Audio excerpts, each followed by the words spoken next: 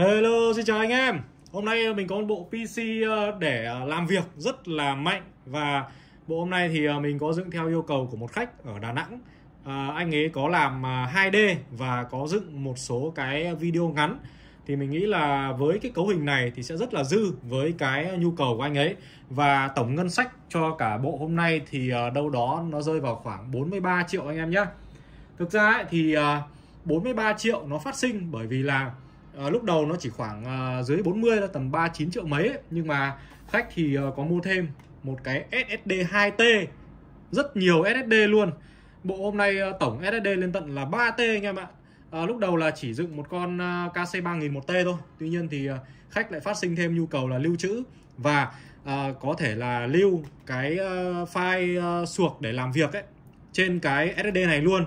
Thì edit nó sẽ nhanh hơn rất là nhiều à, nên là khách có mua thêm. Nên anh em có thể chia bộ này thành hai option. Nếu như mà anh em nào mà chỉ dựng con KC 3000 thì giá nó sẽ chỉ rơi vào khoảng 39 triệu mấy thôi. Còn nếu như mà thêm cái SD NV2 2T thì giá nó sẽ vào khoảng ờ, 43 triệu nhá. Đấy thì ờ, mình có giải thích một chút về cái phần giá bán ngày hôm nay. À, bây giờ thì chúng ta sẽ cùng vào cấu hình. Đầu tiên là main chip đi. Thực ra bộ hôm nay thì đều là những cái linh kiện quen thuộc rồi nên là mình sẽ chỉ nói sơ qua thôi à, chip thì mình có con Core i7 13700K chắc là anh em cũng ờ, không cần phải bàn cãi nhiều về sức mạnh của con Core i7 13700K rồi. Chỉ có cái là con này nó hơi nóng thôi. Chứ còn về hiệu năng thì tuyệt vời luôn. Nó phải tầm uh, mạnh hơn hoặc là xem xem với cả i9 12900K đấy. À, về cái main thì hôm nay là mình có một con main à, thoạt nhìn thì quen nhưng mà nó lại là một cái bản mà Z790 Pro RS có wifi và lại là bản DR5 Đấy. và cái bản này giá rất hợp lý luôn. Hiện tại à, mình bán con này chỉ tầm 6 triệu 790 nghìn thôi. Như vậy là dưới 7 triệu anh em đã có một con Z790 này có cả wifi 6 này có cả khe DR5 Đấy, rất là ngon cho công việc luôn. Và đương nhiên là phải chạy 5 năm rồi. 5 năm thì à, khách cũng không quá yêu cầu về ngoại hình màu mè nên là mình sẽ dùng cặp là Kington Fury. À, cặp này thì là tảng đen xì xì anh em nhá. Và nó là RAM DDR5 bớt 5002 anh em nhìn này 5002 này 32 GB và đây là hai thanh 16 Thực ra bộ này thì khách cũng không cần ờ, đèn đóm đâu nên là nó khá là đen. SSD thì mình nói qua rồi nhá. À nói qua một chút về hai con này thì uh, con KC3000 là dòng cao tốc là 7000 trên 6000 còn con NV2 thì nó là dòng thấp hơn.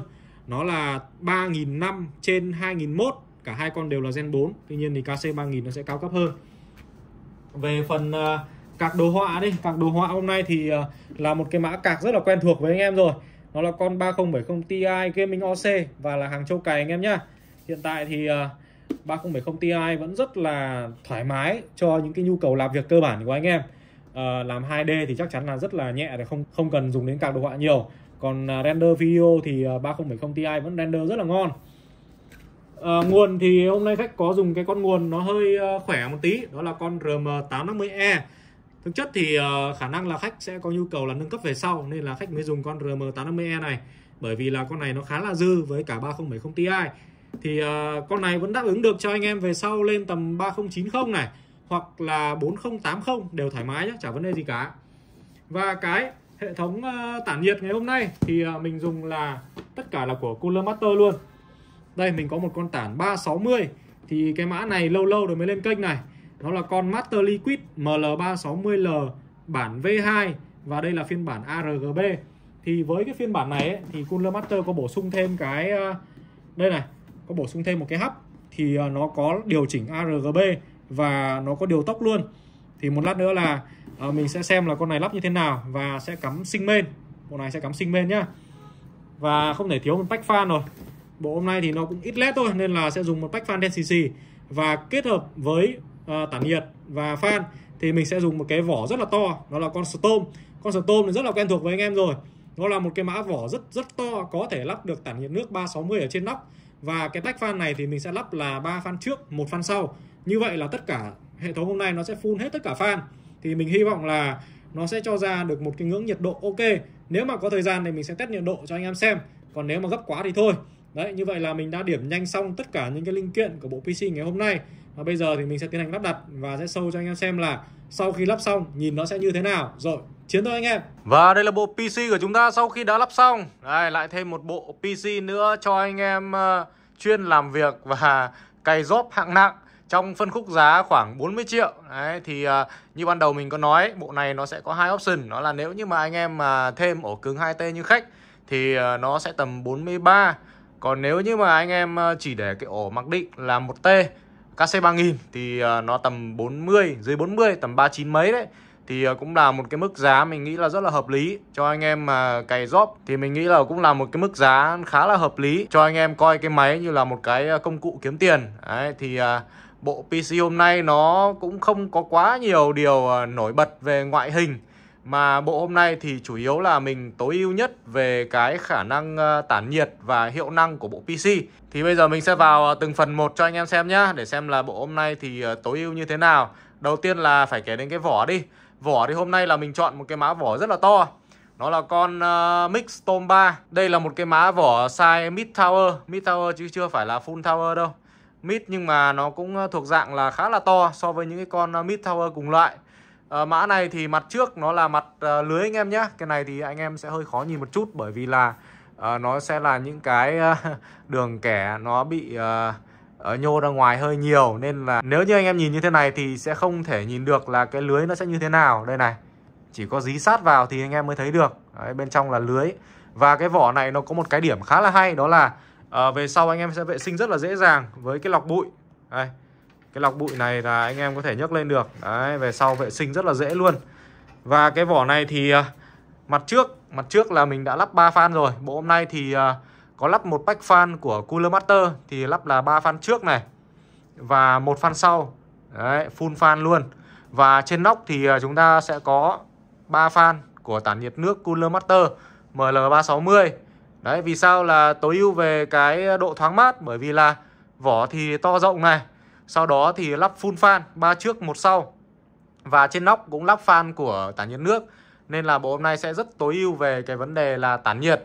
Thậm chí nhá, Cái vỏ này anh em còn lắp được hai fan ở phía hông cơ. Đây này, Phía hông nó còn có hai vị trí lắp fan nữa. Anh em nào thích thì ờ, có thể lắp thêm vào, Thì nó sẽ mát hơn nữa. Đó. Về vấn đề là vỏ với tản này, Là ok rồi này.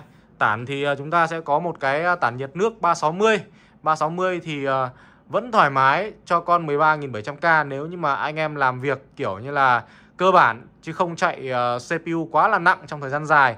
À, Mình nghĩ là khi mà anh em làm video hoặc là làm 2D ấy, thì ờ, nó sẽ không ăn vào CPU quá là nhiều. Và render thì chủ yếu bây giờ là render bằng VGA rồi. Và VGA hôm nay tiện thì mình sẽ nhắc luôn Đó là con 3070 Ti. Mã này thì vừa rồi mình có test Firmax và mình có gửi cho khách rồi. Cái này thì mình lại uh, quên chưa quay lại cho anh em.